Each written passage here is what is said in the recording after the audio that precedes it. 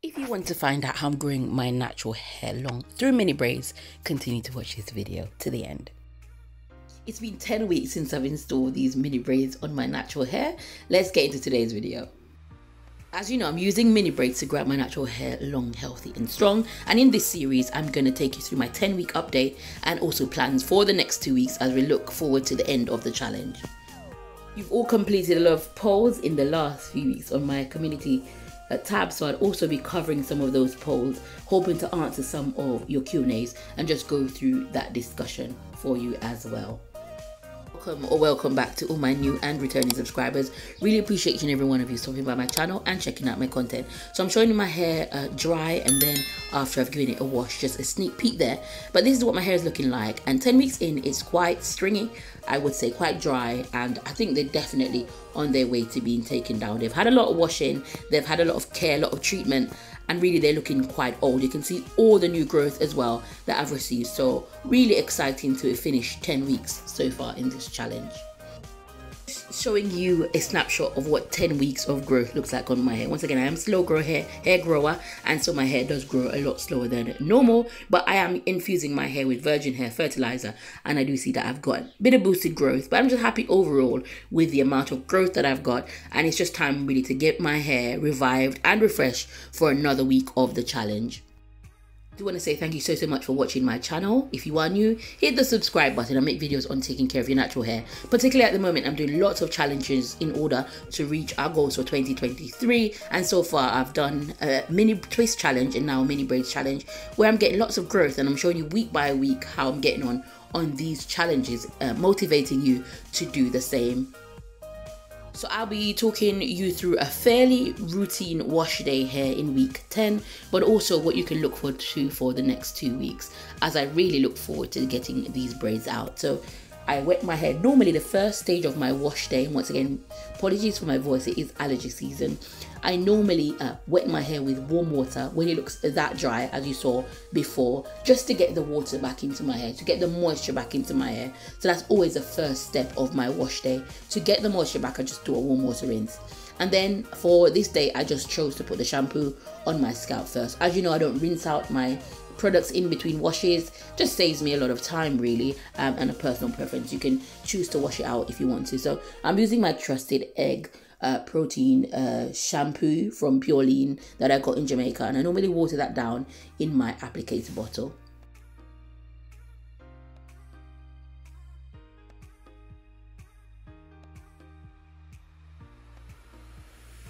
it always amazes me just the difference that water can make to your hair. My hair already looks clean, washed, moisturized just by giving it a warm water rinse. And so if all else fails, if you learn nothing from today's video, always try to give your hair a warm water rinse at least once a week, especially if your hair is high porosity and gets dry quickly like mine.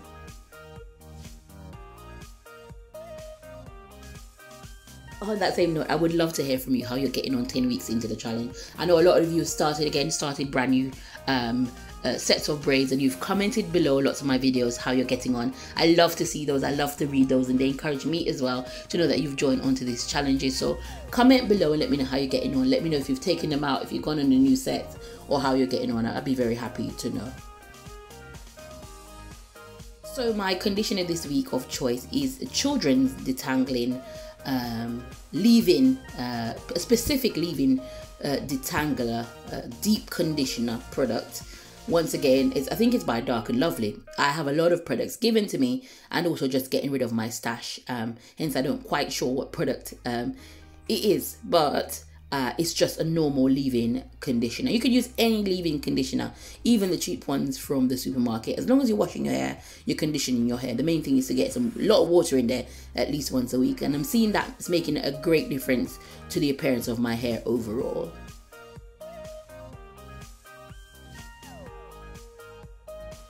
So what I do then, I work the, the conditioner on the length of my hair and I do the shampoo on my scalp. I know this is quite repetitive, but I talk a lot on my channel about being consistent and consistency means doing the same thing over and over again. Of course, I'm going to get great results because we're growing our natural hair and our hair is already in braids and ready protected and now we're just doing the maintenance of these braids to ensure that the hair that grows out and the hair that's already there will stay there by putting in the moisture that's needed and the using the right combination of products to make sure that this hair stays on our head it's all about um, hair length retention here So now let's look at some of the polls that you've completed on my community tab. Thank you so, so much for completing those. Once again, do hit the subscribe button. There's quite a lot of you that watch this channel that are not subscribed, but you can subscribe so that you can participate in the community tabs and you can ask me whatever question you like. I'm so happy to help out all my subscribers. This particular question says, have you moisturized your hair today? 57% of you did that, 26% didn't, and 17% said I probably should do that. So I'm, I'm glad that this was a reminder that you should moisturize your hair.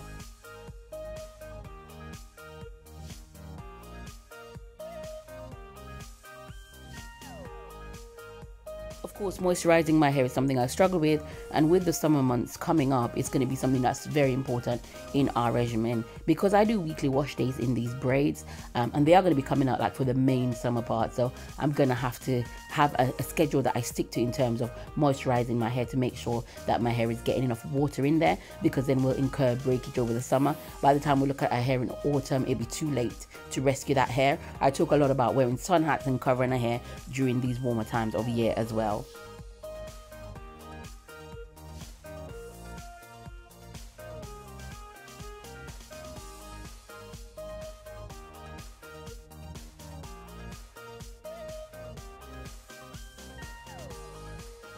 I think these braids have held up really well for 10 weeks. They look good. Once again, I am not redoing these braids uh, until 12 weeks. It's the first time I'm going to be leaving my hair alone for 12 weeks. And you can already see the growth that I'm receiving in my hair. It's a lot, a lot of growth.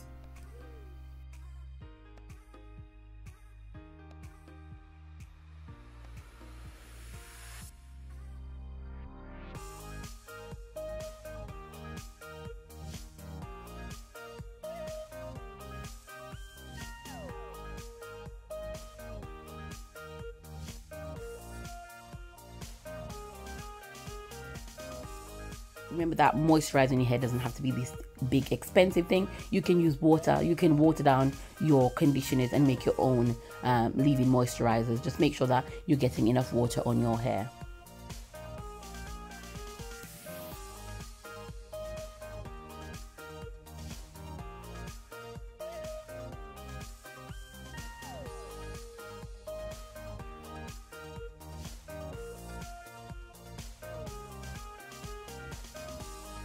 So that wraps up week 10, just using products, simple hair products, simple hair practices, and I'm seeing great results. And I'll leave that in for another week. I will add virgin hair fertilizer to my scalp and I'll put my leave-in in and seal my hair, and that will be it until week 11.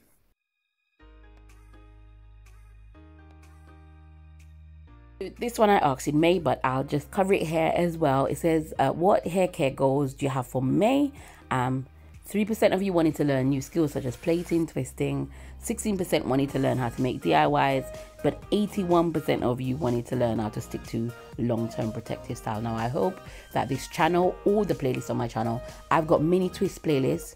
I've got the how to like grow your hair in mini braids. That's like a three-part workbook if you like and then I've got all the mini braids challenges that I've ever done in playlist with the dates given. I hope that's given you a lot of motivation to keep your hair in long-term protective style. I've got my longest challenge where I maintain braids over a 22 week period as well. So you can welcome to check that out for long, long term ex extreme protective styling. And each week I give you inspiration. I talk you through how I'm getting along and hopefully that's providing you with some motivation. Long hair is such a subjective thing, right? And so for a while I had like shoulder length hair and thought my hair was so so long because of course I never even had hair length uh, before. And so shoulder length was really long to me. And I wanted to get this question out to the community. Probably going something a bit deeper later in the video. But what do you consider as long hair and a vast majority of you said waist length. And interestingly, interestingly, mid back length was 33%. Now, my next goal after shoulder was, of course, if I could get to mid back length, which is where I am at the moment, or you could say waist length, um, then I'd think my hair was so long. My hair is touching my waist, I think, but I still do not feel like it's long. And so it's such a subjective thing that when my hair was shoulder length, I thought, wow, I've got long hair. And now my hair is so long, it still doesn't seem like I've got long hair. And that's something, as I said, I will try to cover when I do like blow out my hair or stretch my hair so that you can see it. And then I talk about how it looks in braids. For example, in these mini braids, I think my hair looks quite thin and stringy. Uh, compared to when it's out and blow and that could be to do with my texture my individual strands and all of this um, i think long hair is healthy hair and so when my hair was healthy at shoulder length that was long for me and that's perfectly fine i would say to someone i've got long hair. And so as i said it's quite a, I just wanted to get how you're feeling about it. For me almost waist length or you could say waist length i still don't feel like my hair is long. But when it was at shoulder length i thought it was long. It's quite a strange one.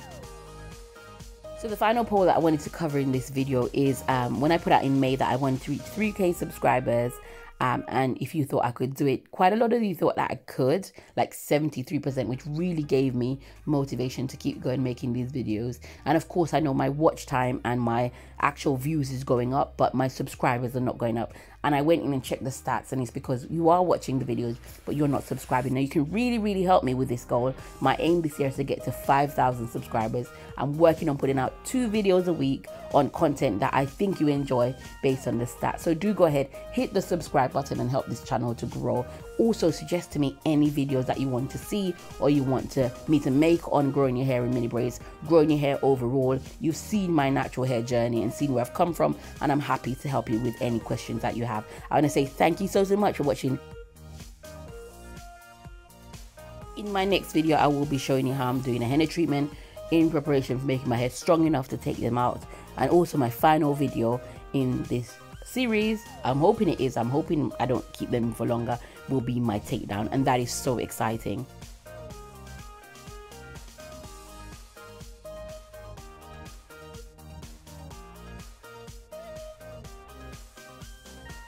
Thank you so, so much for watching my channel and I will see you in my next video. Take care and God bless.